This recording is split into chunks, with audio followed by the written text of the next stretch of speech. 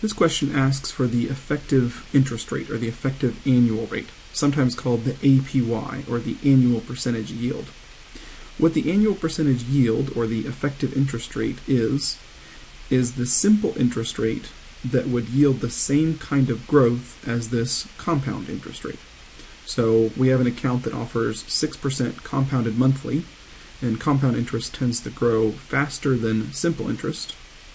So what interest rate, what simple interest rate, would give the same kind of growth as this account, and that interest rate is the effective interest rate, the annual percentage yield.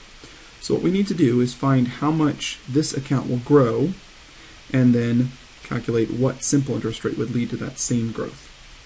To do this, we just pick some arbitrary amount of money. So I'll pick $1,000, just to be simple but we can use any amount of money that we want. And we'll calculate out one year and figure out how much has this account grown.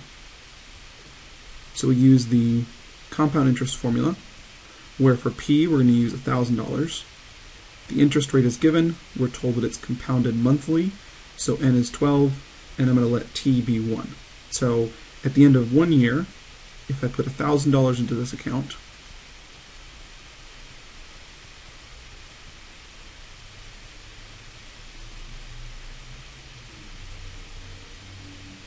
I can figure out how much this account will hold at the end of the year. Thousand times in parentheses 1 plus 0.06 divided by 12 raised to the power of 12 times 1 or just 12. So at the end of the year the account holds $1,061.68. So the goal now is to find what simple interest rate if I use the simple interest formula, f equals p times 1 plus rt, what interest rate here would lead to the same amount of growth? In other words, if I deposited $1,000 in this simple interest account, what interest rate would I need in order to have $1,061.68 at the end of the year?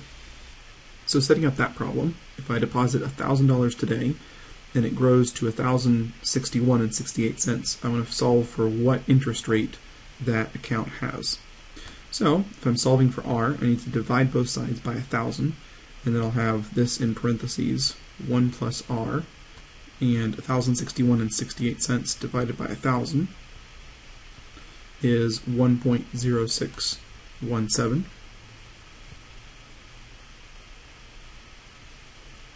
So to solve for r, subtract 1 from both sides and find that 0.06168 equals r. So the simple interest rate that gives the same amount of growth as this compound interest rate in the account that we have is 6.17%. And that is the effective annual yield or the annual percentage yield. There's lots of different names for this, but the idea of the effective interest rate, once more, is it's the simple interest rate that gives the same amount of growth as this compound interest rate in the account that we have.